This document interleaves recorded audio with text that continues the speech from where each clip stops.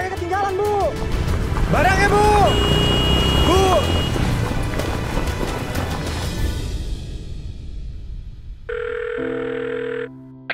Bu, Zaki nggak bisa balik dulu tahun ini. Insya Allah tahun depan ya, Bu. Zaki masih harus nganterin penumpang besok. Iya, Zaki juga kangen ibu kok.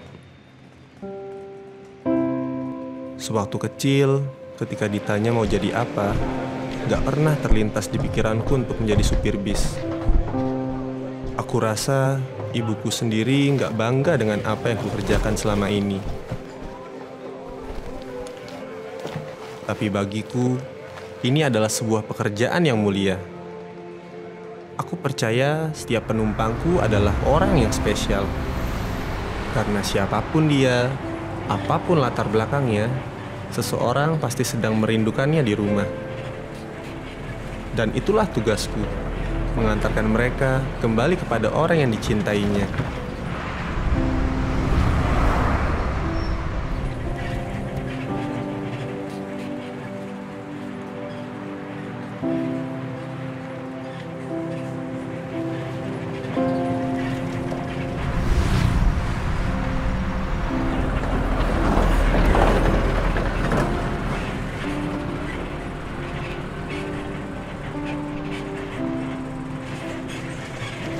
Mas, mas, saya berhenti sini, mas.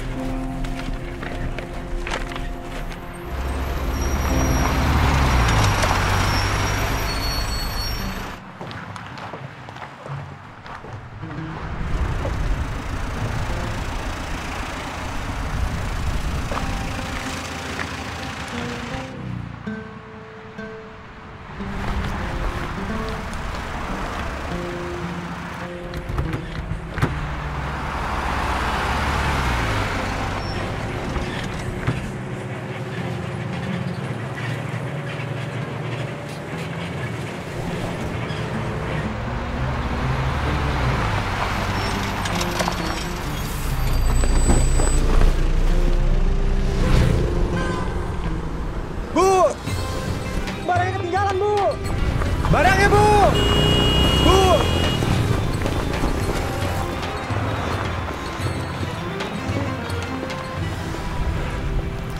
Tunggu! Maaf, ini barang ada yang ketinggalan. Ya ampun, mas. Saya kok teledor banget. Terima kasih banyak ya, mas. Iya, Ibu, sering terjadi kok. Andai mas tahu seberapa berharganya ini bagi saya. Kok ya masih bisa ketinggalan? Ya sudah, saya balik dulu ya, mas.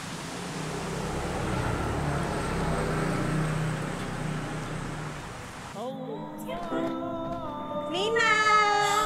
Nek, ibu pulang. Sini duduk dulu. Ibu mau ngasih lihat sesuatu buat kamu sama nenek. Apa isinya, Bu? Cepetan buka dong.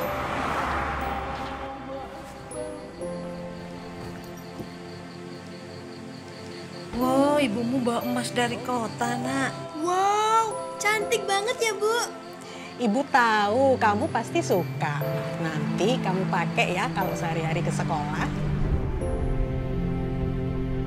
Kita nggak pernah tahu hal sekecil apa pun bisa sangat berarti bagi seseorang. Namun, satu hal yang kupercaya, bahwa siapa pun kita, apa pun yang kita lakukan, ingatlah bahwa kita semua berharga seperti emas.